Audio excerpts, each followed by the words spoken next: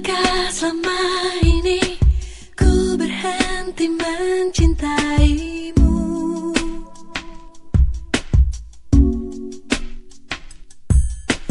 Pernahkah kau mendengar ku tak ucap sayang padamu?